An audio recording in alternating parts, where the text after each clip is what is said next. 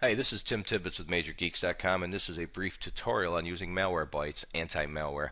Probably one of the best, if not the best, anti-malware scanning tools available on the internet today, and it's free.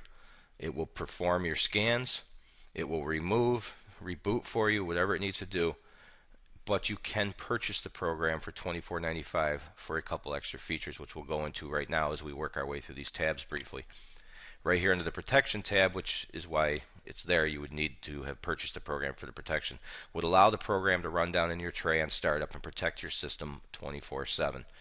It also will allow malicious site protection, scanner and update schedule, as well as customer service. Your update is great if you want to check manually for updates. You can also hop on over their Facebook page there. Why not? They're great guys. We just got to hang out with them in uh, Vegas recently, actually, and I'm not allowed to say anything beyond that. So. Let's forget I said that. Quarantine, yeah. Uh, and here in the quarantine, you can simply remove anything that's already found and delete it in your logs. This will simply keep all the log files by default. Malwarebytes will save a log and display the log when you're done scanning. Your ignore list is great if you've got anything on your system that is being detected as bad but you know is not. Simply click add, find your way over to whatever it is you want to add in. Settings, most of these you can leave alone. I, I check Terminate Internet Explorer during threat removal, primarily because you should close everything before you do a scan anyway. Uh, I have also unchecked the log files because I am not going to upload them to, say, the Major Geeks forum where somebody asks to see your log files. And the warn if the database is outdated, leave that on because you want the most updated database. Scanner settings for memory startup registry file system. See all this? Leave it alone. Leave it all checked. You want to do as much of an in-depth scan as you can. And your updater settings, which again is download and install if updated. The proxy server stuff you're going to need if your ISP is giving you issues. It's pretty rare on uh, broadband internet nowadays. File Assassin can help you unlock files that are in use that are malware, which is very, very common, and may help you remove some malware that Malwarebytes is having difficulty with. And finally, your About tab. You have a link to their page, a link to the help, the version, a little disclaimer, etc. You can always find the register and purchase buttons here in the bottom. So again, we go back to the scanner. All we need to do here is decide how we want to scan.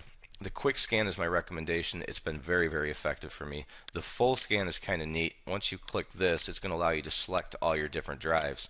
Uh, these are my media drives. But my D drive is a secondary hard drive and I run some games off it, so I might want to scan it in a full scan. That's where this comes in handy. It also takes a lot longer. But your basic perform quick scan is what you need. Your flash scan, again, this is one of the features you're going to need to purchase for, so that's up to you. Performing the quick scan, you simply click your scan and you can walk away, get yourself a cup of coffee, whatever you want to do.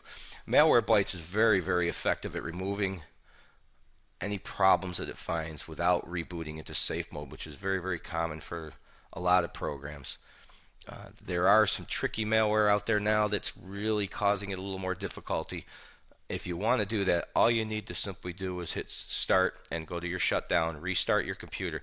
As your computer comes back up, simply wait to just before the flash screen. Just sit there and tap your F8 key. It's the easiest way to do it and you'll a little window will come up and ask you what you want to do. Your choices are safe mode, safe mode with networking. So pick either safe mode or safe mode with networking. What that does is disables all your drivers, all your startup items, and lets Windows load minimal. Now you can run Malwarebytes and this would probably be great for some of those full scans. So, but otherwise, try from Windows, see how it works for you. It'll it'll offer to reboot, and then you can scan again. It's usually your best bet. Scan, reboot, scan again to make sure it got it. And if it didn't, you might want to go into the F8 idea that I just suggested you to go into safe mode and then do a complete full scan from there. I'm going to abort this for now just to give you a general idea of how the program works. And there you go. There's your brief tutorial Malware Malwarebytes Anti-Malware. You can download this at MajorGeeks.com. The fastest way to find it would be to look to our left side to our top downloads. You'll find Malware Malwarebytes Anti-Malware always in the top 10, if not number one. So check it out. You need this tool on your machine.